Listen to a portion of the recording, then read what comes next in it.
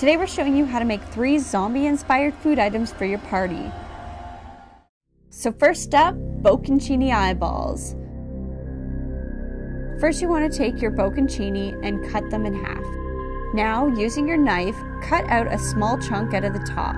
Take a sliced black olive and place it into the hole in the top of your bocconcini. Take the salsa of your choosing and spread it over top of your eyeball. Take some prosciutto and wrap the zombie eyeball and it's ready to go. And a really great pairing with this is a crostini or a baguette or any kind of cracker that you'd like. It's time for the graveyard taco dip. Here are the layers. First, one can of refried beans. One cup guacamole. Take two cups of sour cream and mix with taco seasoning.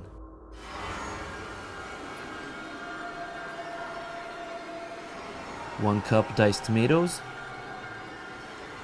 One cup Tex-Mex shredded cheese. One cup of salsa. Put your choice of sprouts along the edges of the dish. Spread some in the middle if you like. It's here more for decor than taste, so you don't want too many. To top it off, a half pound of ground beef. Oil a pan at high temperature, add half an onion, one garlic clove, the ground beef, and cook until well done. Add tombstones. Take soft shell tortillas and cut out the tombstone shapes and bake them in an oven until golden brown. There's nothing like a classic graveyard for zombies to crawl out of. Okay, and now it's time for your zombie shrimp brain. To begin, you're going to need to purchase a styrofoam head. Mark the circumference of the head. Using scissors and a knife, cut the top of your head and hollow out the inside.